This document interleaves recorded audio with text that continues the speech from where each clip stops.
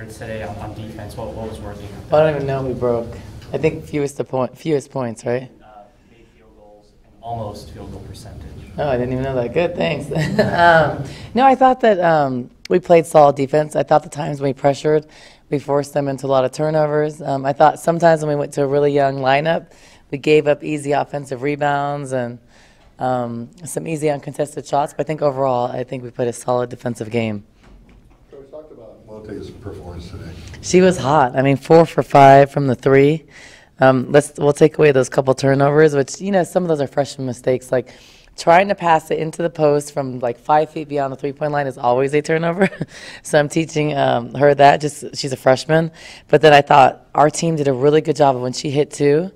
They were so unselfish and they looked for her. So then they found her. Um, and she was hot. I think she was even surprising herself. She was making so much, but she's a great shooter. Um, she takes a lot of pride in it. So I was really happy to see her hit the drum and see her, you know, with 12 points in 16 minutes. It's very efficient. Throughout the season, the third quarter has been a little bit of a hiccup, but tonight you outscored them 20 to 2 in the third quarter. What, what was the change there? Well, I think that um, I was concerned at halftime with the score for us to lose our intensity and concerned we'd come out kind of flat. I think that we kind of we maintained the intensity. I thought I thought at times when the starters were out for long periods, they came in kind of cold. Like Ari came in cold and kind of bricked a couple threes. But um, we've just been focused at playing one more at a time. So we play wars and we play five minute increments. And so our goal and objective is to win every five minutes. So that's what we try to focus on. So I kept on saying zero zero, win this war. And we had some goals as a team, and I thought that they um, did a good job executing all of them. I think much better job second half. First half we were like three for 14 from the three, and then second half to um, to end up so that would make us seven for I don't know seven for 14 or something. Second half, so much better job from the three. You always talk about how your defense really kind of sparks your offense.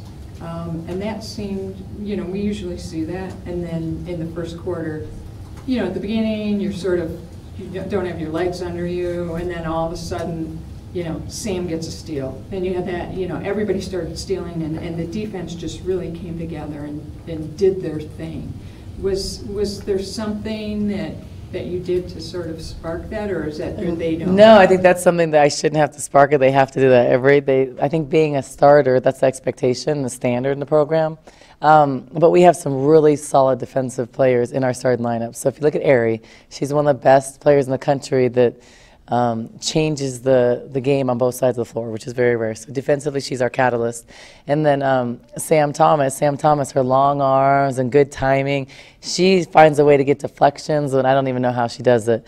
And then I don't know if you noticed, but Amari didn't start second half, so just resting Amari. But then Helena comes in and does some great things. So I thought overall um, solid.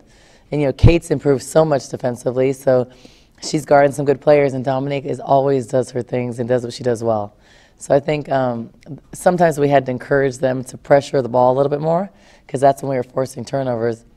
I think when they had a little bit of a lead, they relaxed a little bit, and that's kind of you know that's just young mistakes. But then we said, hey, pick it up or call a timeout or sub people out. Then they came back with more of a sense of urgency because that's the expectation. And then that end of the first half, you went on a, what, a 17-0 run, and then second quarter, they only scored on free throws. Yeah, so, really- but, so those are the things, when I talk about next level, and I think of just the future, like preparation for the, a month from now, those are the mistakes I don't like. So we put them in the bonus. We have to know, okay, we're really aggressive, but then when we have four fouls, then that's a time to kind of pop back and be solid. We're not good at that. So I, but I, I like the fact that I have to rein them in versus like tell them go and like, you know, put a fire, you know, under them. So I like, I like that, but I don't like how we're not smart at that yet. We're not, we don't know, okay, pop back and just be more contained in those situations. We're, we don't do that well. And I think the other, if I'm looking at negative things and, ways to improve. The other thing is getting to the free throw line. Yes, we're 29, tw- 10 for 29 from the threes, so 35%, but I'd rather that number go down five attempts and then increase like five or six or seven from the free throw line. We can't only have Ari and Cate go the free throw line, so that tells me Sam needs to attack the rim more, Dominique needs, needs to attack the rim more, and, um, and Helena.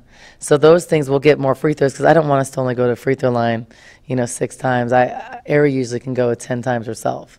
So that's an area that we have to get better at. Um, Tara, I had heard she was mostly shooter, but she did some driving today. Is that part of her normal game? Yeah, I think um, when you're a good shooter and you make shots, you're going to have open penetration. So Sam's going to have open lanes to the basket. Helena will. Um, I thought she she finished well in the first half. Second half, she did not play well. But I thought she was just pressing and got a little frustrated after she missed a shot. But she can drive. She's athletic. She has a lot of bounce. She's good in transition. So those are things she'll evolve to do consistently. Um, she's just a freshman, so she still makes those freshman mistakes. But um, she's athletic. Um, she can do a lot of different things. And I think you're going to see her defense continue to improve.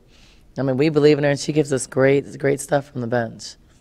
Were you planning on playing 13 players today, like before the game started? Yes, I mean, if I can, if there's a situation, I, you know, it's hard. It's hard to manage so many players. It's funny because when you're a coach and you have seven players, you're like, oh, I don't have anybody to put in. We can't sub this and that. And then when you have a lot of players, you're like, oh, you're trying to manage minutes and all that. So that's always that's a good problem to have, especially when we have things like, you know, I think we had 39 points off the bench. That's really good. But when I can, I, I'm looking for opportunities to give experience. So opportunities to put different combinations like Semaj and Sevval together, Birna and Sevval, Cate and Sevval, Dominique and um, Semaj. So those things because we need them to gain experience before the Pac-12 and putting them in situations. And you saw we played Bryce at the one some, you know, Mara at the one some, Helena started some sets. So those are combinations where we need to just develop people in pressure situations because you can't do it in practice. It's different. So. She played for Only five minutes, was there like something physical? No, she was just, uh, you know, had a tight hamstring, so I just wanted to rest her a little bit. There was no need, um, you know, but I did not, I didn't want to not play her. I wanted her to still get a couple minutes in, kind of see how she feels, but we turn around pretty fast. Um, Saturday and Sunday, you know, we practice Saturday and Sunday, then Monday a game, so it's kind of the time I'd rather rest her a little bit if we can, but give her a couple minutes. Coach, it seems like you guys did a really good job being unselfish on the offensive end, finding open shooters. Anything, anything Well, we talk about that. Um, we have really good chemistry um, on this team. We, I'd like to think that every player is pretty unselfish, or every player is every player is unselfish. Um, I, I like that. I like that. I like when Helena. So there's a there's a particular play that sticks out in my mind. Helena drove um, down the right baseline. She had a layup, but then she hit her teammate for. I think she hit Ari for open three in the corner. I think I don't think Ari made it, but those are the unselfish things I like. A couple times, Dominique drove or Ari drove, skipped it to Dominique. Dominique drove, skipped it back to Ari for a three point shot. Those are things we work on. We work on our driving and kicking a lot. We work on making the extra pass. In a perfect world for me, um, we don't take any contested shots. Now, some people have a little bit more of a green light than the other people because they, they've proven they deserve that, but I don't want any contested shots. If, if I could um, break it down on film and show us every great shot to me is an uncontested shot, and we should always work for uncontested shots. So that's the that's my philosophy. It doesn't always happen, and sometimes it's sometimes there's players where it's like Ari does it all the time. It's like no, no, yes, good job, you know. But um, I think the you'll see us become better and better at that. You'll see us drive and kick a lot better in a month than you will now, just because there's seven new people. And I don't know if you guys remember, but at the NIT last year, we got really good at that. And there was a couple possessions tonight where all five people touched the ball and it went to six, seven um, passes and a shot. And we will get great high percentage um, shots. And the more unselfish we are, we'll continue to shoot 47, 45% from the floor if we do that.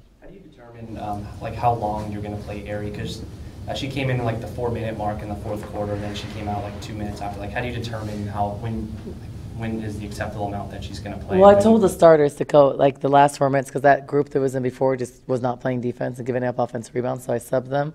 I put the starters back in, and the goal was to have two minutes. So give me two good minutes and then get out, just because that's a, that's a different starting unit. So people, some people are probably like, why'd you put them back in? But it's a different unit with Helena, and it's it's good experience, and just see if they can go come in the game after sitting and give me some good minutes. Um, I don't really have a crystal ball, and I don't think like, oh, she's only gonna play 20 today or 30. But I also look at situations where if we're up 40, do I really need to play her? You know, there could be a reason to play with a certain lineup, but then it's a good time for me to give Mara, Tara, you know, um, Helena, different experience at different positions. Bryce at the one. So those are the opportunities I can do that.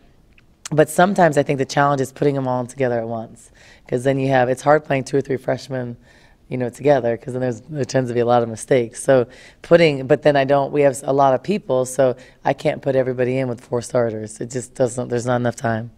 But I, I think Ari tonight, 22 minutes. I mean, Ari's going to play over 30 minutes a game. She'll probably play 34 minutes a game, but she won't play 38, 39 like last year, th- thankfully.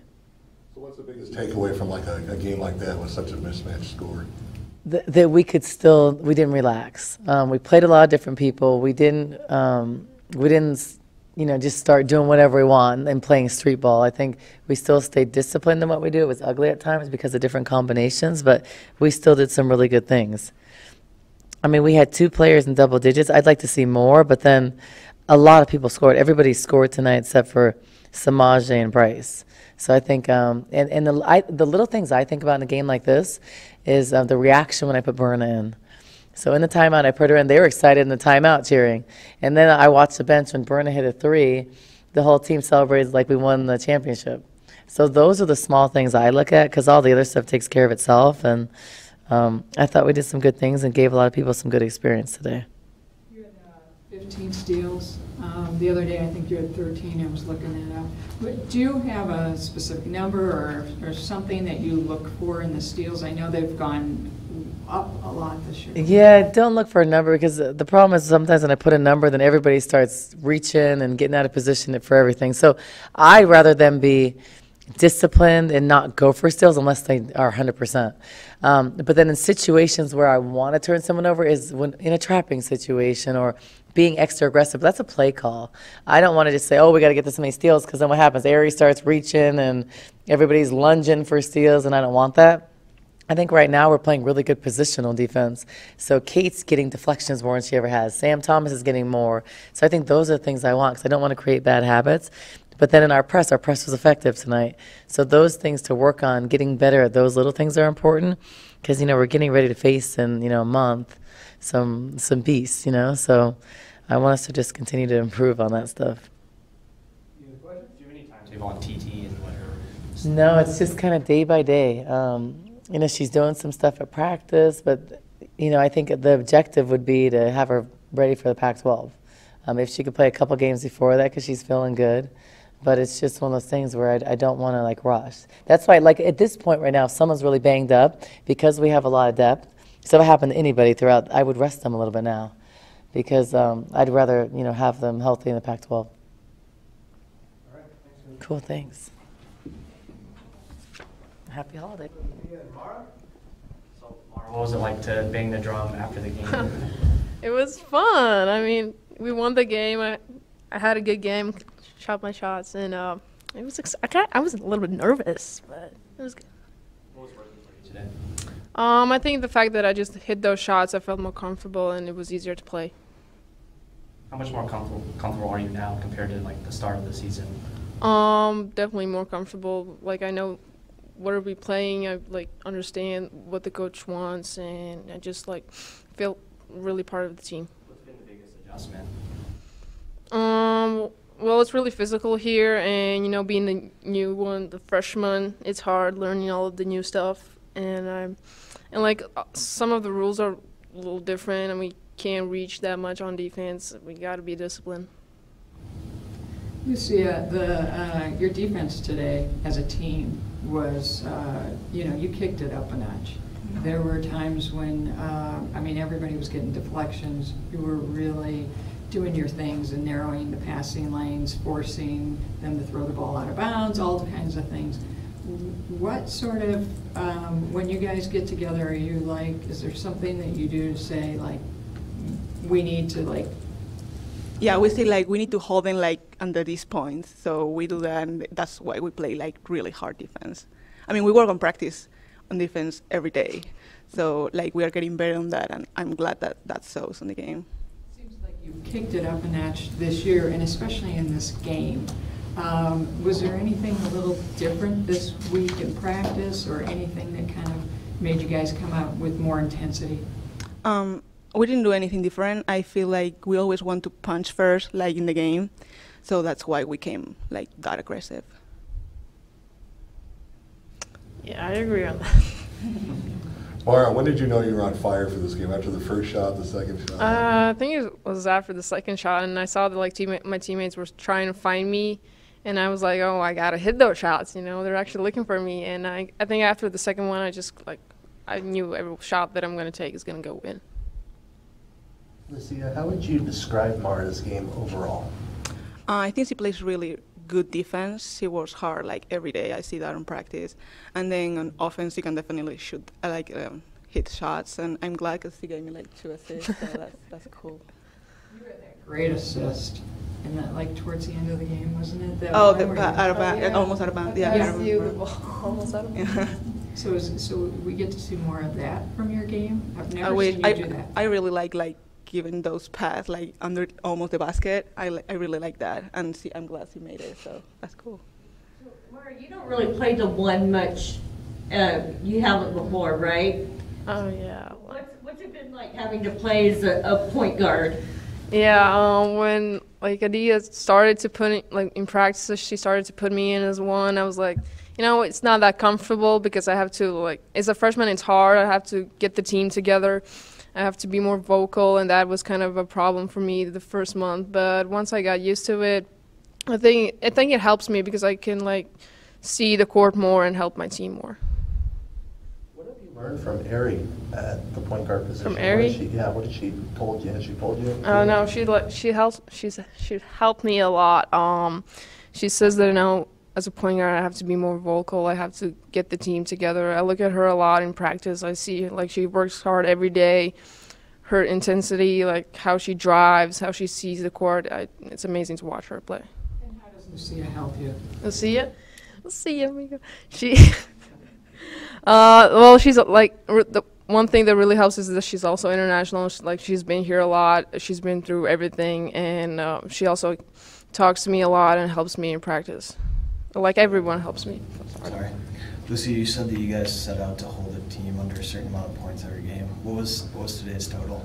It was 35. I think it was 35. 35. So we got that. Yeah. Lucy, what have you thought of the way Helena has played this year? Uh, I mean, she's a great player. I've seen her before, like in Spain playing, and I really like to play with her. Like we understand each other, and I think she can like really help the team. How much, just because you're both from Spain, have you been able to help her through the transition? Oh yeah, we talk in Spanish all the time, and yeah. Yeah, sometimes I help it's her with everything. I'm like, I don't understand what Yeah. they're saying. Anything else? All right, thank you. Thank you. Thank you.